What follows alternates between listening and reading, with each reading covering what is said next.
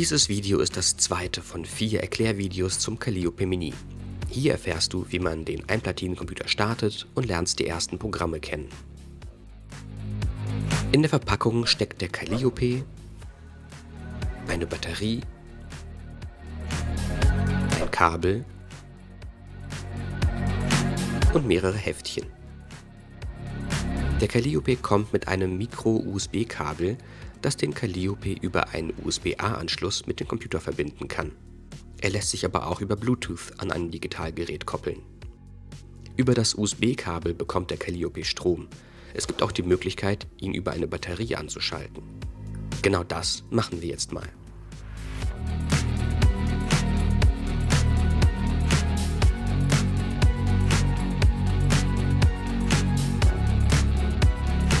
Der kleine Calliope steckt voller Technik.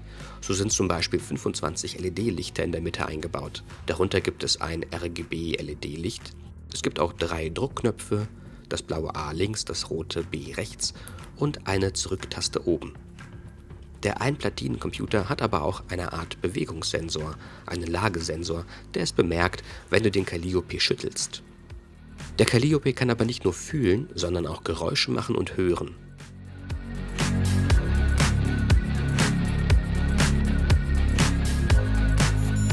Wenn du den Calliope mit Strom gefüttert hast, startet die Introsequenz, die dich auffordert, links die A-Taste zu drücken, dann rechts die B-Taste, anschließend beide Tasten zusammen und danach sollst du den Calliope einmal schütteln.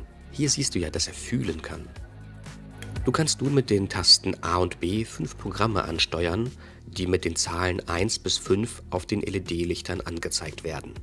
Willst du eins davon oder mehrere ausprobieren, dann schüttelst du den Calliope liebevoll, um das Programm zu starten.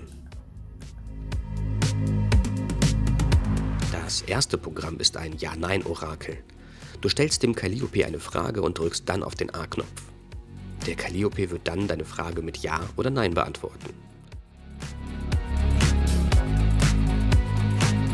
Hast du dem Calliope genug Löcher in den Bauch gefragt, kannst du durch das Drücken der Tasten A und B gleichzeitig zurück zu den anderen Programmen. Hier solltest du noch das Krachometer ausprobieren. Das ist Programm Nummer 4. Wenn die RGB-LED grün ist, ist es leise.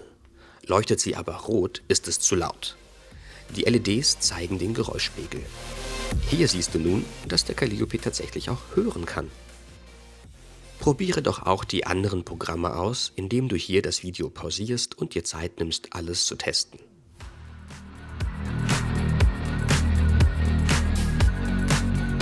alle Programme ausprobiert, aber das ist noch lange nicht alles.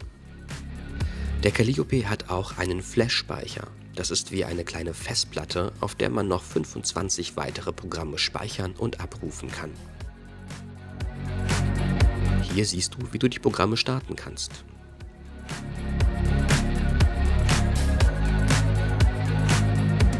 Vielleicht probierst du auch hier einige aus, die dich interessieren. Eine Übersicht habe ich dir in der Videobeschreibung unten verlinkt.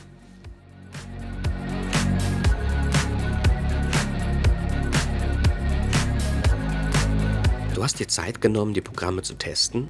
Dann sage ich dir jetzt, dass das nur die Spitze des Eisbergs ist.